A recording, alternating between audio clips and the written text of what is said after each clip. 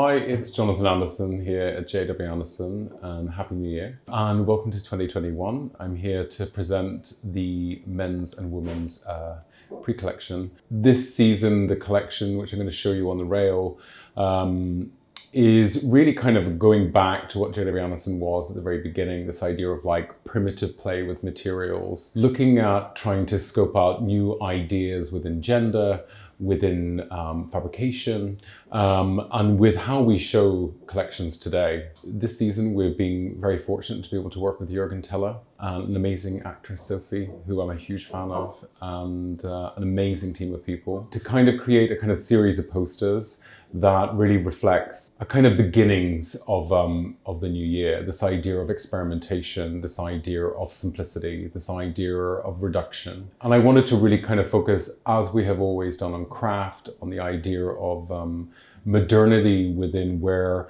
we can go uh, in fashion in the next decade. So here we are with the, all the collection that we worked on for men's this season. We have the mohair sweaters, which have the nylon belt that ties around the waist you know, looking at those kind of earlier collections that we had done where it was like a kind of totemic look. Um, we worked with Anthony Turner doing hairstyles onto the shearling, hand dyeing them like you would with hair. The jackets with the silver foil, we hand screened on top of um, English wool to kind of give this idea of something which was a bit like a pewter plate. We have the jersey and poplin dresses. We have hand crocheted each of the little radishes, which are then applied to the mohair sweater. I was really kind of into this idea of iconography in terms of still lives. Peaches, squashes, and uh, all types of fruits and veg became these sort of like tabard sweaters that were very kind of graphic in its approach. Due to the massive success with the Harry Styles sweater, I kind of liked that it really symbolized 2020 for me. So we've introduced like other types of patchwork hand knits where we've kind of done recycled yarns and different plies and a lot of like hand embroidery in terms of the logo. And as always, we have our classic shearling, which we've done with a shawl collar, something which we, we have been doing very well for many seasons. And I just wanted something which was slightly aged, or something which was a very timeless piece. On this rack, we have the, the pre-collection for women's. The idea was to kind of, you know, continue reinforcing the wardrobe you know, really kind of focusing on the kind of core values of J.W. Anderson, like shirting and tailoring. Some of the things that I really love is this like double-faced jacket, which we have all the kind of buttoning details.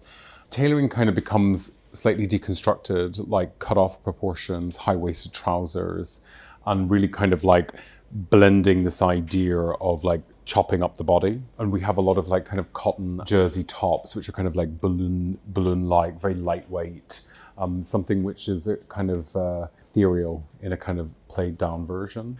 Uh, so for bags, we've kind of reintroduced our felt, our kind of landscape felts, um, the tote. We've obviously got the um, the anchor tote as well. We've got amazing little accessories of radishes, um, which are hand crocheted. This is a new bag.